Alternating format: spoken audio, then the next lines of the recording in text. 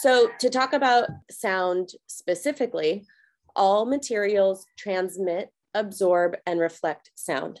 Okay, so all materials transmit sound, which means the sound goes through it. So think of it as two spaces. There's a, a room over here and a room over here, and this is the wall in between. So over here, there's a loud party going on.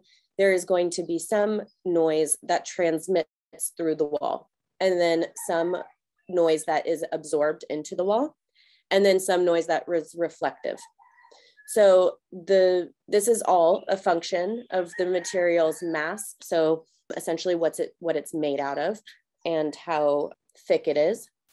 Although I will say that just the thickness is not the most important part of uh, sound. It's really the materials that are made up of the mass. The surface smoothness. So if it is a super, super smooth surface, um, a lot of that sound is just going to bounce right back into the room rather than absorb or transmit into the other space. If it's really porous, then the um, sound can go into it a little bit more and either be absorbed or transmit. The fiber orientation. So say you have a fibrous material that is on the outside, say it's like a wall paneling, and you have all the materials going in one direction. Some material, some sound will still be able to be transmitted and absorbed.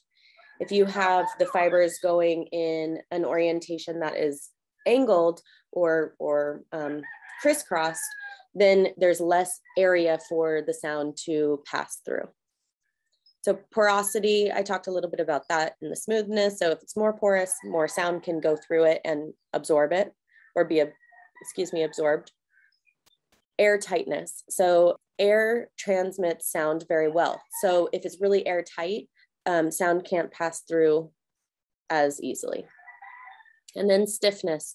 Stiffness would be, again, like a wall, a wall um, assembly. And depending on how stiff it is, then that will also determine how much sound is being reflected or transmitted.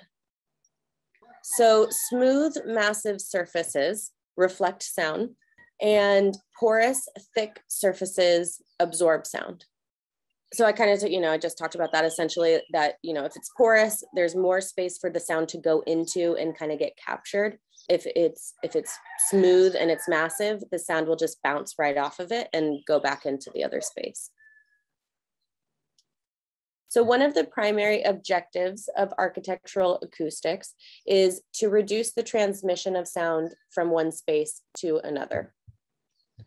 So transmission of sound is primarily reduced by the mass and the stiffness. So again, this would be this would be the, like the mass of the uh, wall. So so here is an example of the, the wall in between the spaces and the stiffness. So this is a little bit more like what the architect would account for in their wall assembly. So how their wall is built up, like what materials they're using, if they're using wood and insulation and whatnot. But as interior architects, it's important to know this for when you're building interior partition walls.